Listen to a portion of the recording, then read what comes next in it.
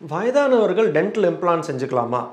இது வந்து ரொம்ப ரொம்ப காமனான கொஸ்டின் நிறைய பேர் வந்து எனக்கு ரொம்ப வயசாயிடுச்சு டாக்டர் பல் எடுத்துட்டாங்க. ரொம்ப சின்ன வயசுலேயே பல் எடுத்துட்டேன். இப்போ பல் இல்லை. எனக்கு இம்ப்ளான்ட் பண்ணிக்கணும்னு ஆசையாக இருக்குது ஆனால் இவ்வளோ வயசாகிடுச்சு இம்ப்ளான்ட் பண்ணிக்கலாமான்னு ஒரு ஒரு செட் ஆஃப் பேஷண்ட்ஸ் என்ன கேட்பாங்க. இன்னொரு செட் ஆஃப் பேஷண்ட்ஸ் வந்து எனக்கு வேறு ப்ராப்ளம் மெடிக்கல் ப்ராப்ளம்லாம் இருக்குது ஹார்ட் ப்ராப்ளம் இருக்குது ஸோ டென்டல் இம்ப்ளான்ட் பண்ணிக்கிறதுனால வேறு ஏதாவது இஷ்யூ இருக்குமா டாக்டர் வேறு ப்ராப்ளம் இருக்குமா டாக்டர்னு கேட்பாங்க. ஸோ இந்த பர்டிகுலர் வீடியோவில் வயதானவங்க டென்டல் இம்ப்ளான்ட் செஞ்சுக்கலாமா? எந்த வயசு வரைக்கும் டென்டல் இம்ப்ளான்ட் செஞ்சுக்கலாம்? இதுக்கு ஏதாவது ரெஸ்ட்ரிக்ஷன் இருக்கா?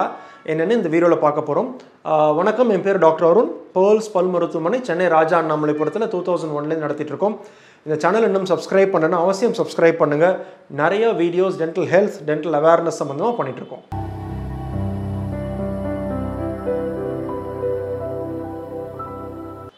இப்போது டென்டல் இம்ப்ளான்ஸ்னு பார்த்தீங்கனாலே நம்ம எப்போ நம்ம எப்போ நம்ம பற்களை இழக்க நேரம்? யூஸ்வலாகவே வந்து சின்ன வயசில் ஏதாவது ஒரு ஆக்சிடெண்ட் ஒரு ட்ராமானா பற்களை இழக்க நேரம். அவர் மற்றபடி வந்து யங் ஏஜில் வந்து பற்களை இழக்க வேண்டிய அவசியமே நமக்கு கிடையாது.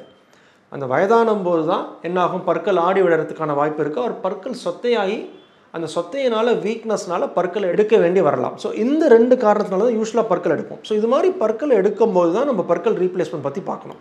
இப்போ நம்ம வயசுன்னு பார்த்தீங்கன்னா என்ன நம்ம முக்கியமாக நம்ம கவனிக்க வேண்டியது அப்படின்னா எல்டர்லி ஏஜ் குரூப் அதாவது இப்போ ஃபிஃப்டி சிக்ஸ்டிலாம் எல்டர்லி ஏஜே கிடையாது. நான் சொல்கிறது எல்டர்லி ஏஜ் குரூப்புங்கிறது வந்து eighty and above seventy five eighty அந்த வயசில் சொல்கிறேன் அது ஃபிஃப்டி சிக்ஸ்டிலாம் வந்து மிடில் ஏஜ்னு தான் நம்ம இந்த கன்சிடர் இந்த பர்டிகுலர் இயர்ஸில் நம்ம அதை கன்சிடர் பண்ணணுமே தவிர அது elderly age group old age group கிடையாது. ஸோ நான் சொல்கிறது வந்து seventy and above and eighty and above அந்த அந்த அந்த மாதிரி ஏஜ் குரூப்புக்கு இம்ப்ளான்ட் பண்ணலாமான்னு நம்ம பார்க்க போகிறோம் முக்கியமாக நம்ம நம்ம என்ன கவனிக்க வேணும்னா நம்ம வயது ஆக ஆக நமக்கு உடலுக்கு வேண்டிய நியூட்ரிஷன் வந்து ரொம்ப முக்கியமாக கரெக்டான நியூட்ரிஷன் சரியான முறையில் ரொம்ப அவசியம் தேவைப்படுது. அப்போ தான் நம்ம நல்லா ஹெல்த்தியாக இருக்க முடியும். அதுக்கு முக்கியமாக நம்ம போதுமான அளவு பற்கள் தேவை. பற்கள் இருந்தால் தான் நம்ம சாப் ச- உணவுப் பொருட்களை நல்லா நல்லா கடித்து சாப்பிட முடியும்.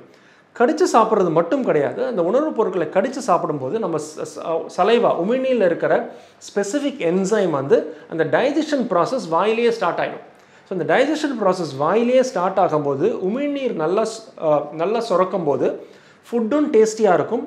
அந்த டைஜஷன் கம்ப்ளீட் ஆகும்போது நமக்கு உடலுக்கு வேண்டிய நியூட்ரிஷன் ஃபுல்லாகவே முழுமையாக கிடைக்கிறதுக்கான வாய்ப்பு இருக்குது ஸோ இதை நம்ம பற்கள் இல்லைன்னா இதை நம்ம ஸ்கிப் பண்ணுவோம். இந்த மிக்சியில் அரைச்சி சாப்பிட்றதா இருக்கட்டும் ஒரு குழவா கரைச்சா மாதிரி குடிக்கிறதா இருக்கட்டும் இதில் எல்லாமே டேஸ்ட்டும் மட்டும் கம்மியாகிறதில்ல நியூட்ரிஷன் வேல்யூவும் கம்மியாயிடும். ஸோ முக்கியமாக வயதானவங்கள் நியூட்ரிஷன் ஃபுட்டு சாப்பிட்றது ரொம்ப ரொம்ப முக்கியம். ஸோ அவங்களுக்கு ஸ்பெசிஃபிக்காக நம்ம என்ன கவனிக்க அஹ், கவனிப்போம்னா அதுக்கு யூஸ்வலாக அந்த வயசில் வேறு ஏதாவது மெடிக்கல் ப்ராப்ளம் இருக்கா? சக்கரை நோய் இருக்குதா?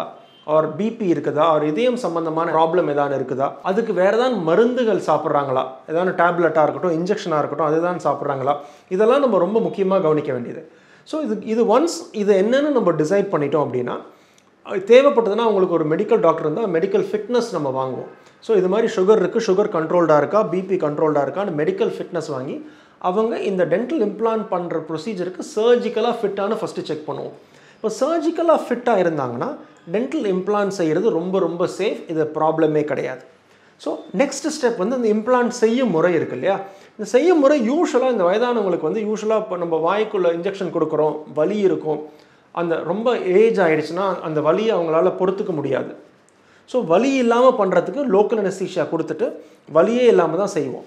இன் கூடுதலாக இந்த செடேஷன் ஒரு ப்ரொசீஜர் பண்ணுவோம். இந்த செடேஷன் ப்ரொசீஜரில் என்ன செய்வோம் அப்படின்னா ஸோ இந்த லாங் டேர்ம் அதாவது அவங்களால வாயை ரொம்ப நேரம் திறந்து வச்சுக்க முடியாது. இப்போ நம்ம சர்ஜரி பண்ணுறோம் முக்கால் மணி நேரம் ஆகும் ஒன் ஹவர் ஆகும் அப்படின்னா அது வரைக்கும் வாயை திறந்து வச்சுக்கிறது அவங்களுக்கு கஷ்டம். ஸோ அதனால் செடேஷனில் பண்ணுவோம். ஒரு தூக்க மருந்து கொடுத்து டென்டல் சேரில் தூங்கிட்டு இருப்பாங்க. செடேஷனில் பண்ணும்போது மல்டிபிள் ப்ரொசீஜர்ஸ் அதாவது மல்டிபிள் சர்ஜரி ஒரே சிட்டிங்கில் பண்ண முடியும். அவங்களுக்கு ஒரு வலியோ கஷ்டமோ எதுவும் இருக்காது. போஸ்ட் ஆஃப் ரெக்கவரியும் பெட்டராக இருக்கும். இது ரெண்டாவது. ஸோ ஃபஸ்ட்டு சர்ஜிக்கல் ஃபிட்னஸ் ரெண்டாவது இந்த சர்ஜிக்கல் ஃபிட்னஸ் வாங்கினதுக்கப்புறம் என்ன மாதிரி சர்ஜரி பண்ணுவோம்? ஸோ அவங்களோட உடலுக்கு ஏற்ற மாதிரி மெடிக்கல் ஃபிட்னஸ் வாங்கிட்டு அவங்களுக்கு சுகர் பேஷண்ட்னா மார்னிங் டயத்துலையா ஆர் ஆஃப்டர்நூன் டயத்துலையா அதுக்கு தகுந்த மாதிரி நம்ம சர்ஜரியை பிளான் பண்ணி செடேஷனில் சர்ஜரி பண்ணும்போது அவங்களுக்கு வந்து கம்ஃபர்டபுளாக இருக்கும் போஸ்ட் ஆஃப் ரெக்கவரியும் பெட்டராக இருக்கும். மூணாவது விஷயம் இப்போ வந்து வயது ஆகும்போது ஆகும்போது என்ன என்ன ஆகும் அப்படின்னா அந்த எலும்பு தேய்மானம் வரத்துக்கான வாய்ப்பு நிறையா இருக்குது ஸோ அதுக்கு என்ன ஒன் என்ன ப்ரிகாஷன் எடுத்துக்கணும்? ஃபஸ்ட்டு சிடி ஸ்கேன் எடுத்து எலும்பு எப்படி இருக்குது என்ன மாதிரி அந்த இருக்கிற எலும்புக்கு என்ன மாதிரி நம்ம பல்செட்டு கொடுக்கணும்? அந்த பல்செட்டை பொ பொருத்த வேண்டிய இம்ப்ளான்ட் என்ன மாதிரி ஃபிக்ஸ் பண்ணணும்? இது எல்லாமே ப்ரையராகவே நம்ம டிட்டர்மைன் பண்ணிடுவோம்.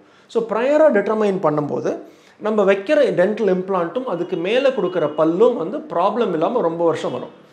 நாலாவது நம்ம என்ன கவனிக்கணும் அப்படின்னா யூஸ்வலாக வயதாக ஆக உடம்புல இருக்கிற ஹீலிங் பொட்டென்ஷியல் வந்து ஸ்லோ டவுன் ஆகிறதுக்கான வாய்ப்பு இருக்கும். எதனால் ஸ்லோ டவுன் ஆகும்? எஸ்பெஷலி எலும்பில் ஸ்லோ டவுன் ஆகிறதுக்கான வாய்ப்பு இருக்குது.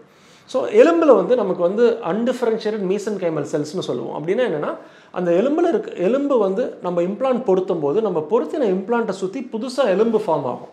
இந்த புது எலும்பு ஃபார்ம் ஆகிறதுக்கு வந்து அதுக்கு பாடியோட அந்த அந்த மீசன் கைமலும் சரி அந்த உடம்போட ஹீலிங் பொட்டென்ஷியலும் ரொம்ப ரொம்ப முக்கியம். இது வந்து வயதாகும்போது ஸ்லோ டவுன் ஆகிறதுக்கான வாய்ப்பு இருக்குது ஸோ அதனால் யூஸ்வலாக இம்ப்ளான்ட் பண்ணதுக்கப்புறம் நம்ம ஒரு நார்மல் எங்கர் ஏஜில் சே ஆறு வாரத்திலே நம்ம பல் செட் கட்டிடுவோம் ஒரு பல் கொடுத்துருவோம். அப்படிங்கும்போது ஏ ஏஜ்டாக இருக்கும்போது ஒரு த்ரீ டு ஃபோர் மந்த்ஸ் வரைக்கும் வெயிட் பண்ணிவிட்டு இம்ப்ளான்ட் ஃபுல்லாக ஹீல் ஆகிடுச்சான்னு செக் பண்ணிவிட்டு அதுக்கு ஏற்ற மாதிரி நம்ம வந்து பல் செட் பொருத்துவோம். ஸோ எக்ஸ்ட்ரா டைம் ஹீலிங்க்கு எக்ஸ்ட்ரா டைம் கொடுத்து பண்ணுவோம். ஸோ இதெல்லாம் தான் precaution so dental implant elderly பேஷண்ட்டில் சாத்தியம். ரொம்ப முக்கியம் அவங்க வந்து நியூட்ரிஷன் நல்லா சாப்பிட்றதுக்கு. ஸோ மெடிக்கலாக ஃபிட்டாக இருக்காங்களான்னு செக் பண்ணி அவங்க போன் ஹெல்த்தை செக் பண்ணி அவங்களோட வயசுக்கு அவங்களோட மெடிக்கல் கண்டிஷனுக்கு ஏற்ற மாதிரி சர்ஜிக்கல் முறையை மாடிஃபை பண்ணி அதுக்கு என்ன இம்ப்ளான்ட் அவங்களுக்கு பெஸ்ட் சூட்டபுளாக இருக்குமோ அந்த பெஸ்ட் சூட்டபிள் இம்ப்ளான்ட் கொடுத்துட்டோம் அப்படின்னா ப்ராப்ளம் இல்லாமல் ரொம்ப வருஷம் டென்டல் இம்ப்ளான்ட் வரும். அவங்களோட குவாலிட்டி ஆஃப் லைஃப் இம்ப்ரூவ் ஆகிறதுக்கு இது டென்டல் இம்ப்ளான்ட் ரொம்ப ரொம்ப ஹெல்ப்ஃபுல்லாக இருக்கும். இந்த வீடியோ பிடிச்சிருக்கும்னு நினைக்கிறேன். வேறு ஏதாவது கொஸ்டின்ஸ் இருந்ததுன்னா கமெண்ட் செக்ஷனில் கமெண்ட் பண்ணுங்கள் வீடியோ லைக் பண்ணுங்கள் ஷேர் பண்ணுங்கள் சேனலை சப்ஸ்கிரைப் பண்ணுங்கள் அடுத்த வீடியோவில் சந்திக்கிற வரைக்கும் டாக்டர் அருண் பேர்ல்ஸ் பல் மருத்துவமனையிலேருந்து பேசுகிறேன் நன்றி வணக்கம் அண்ட் தேங்க்யூங்க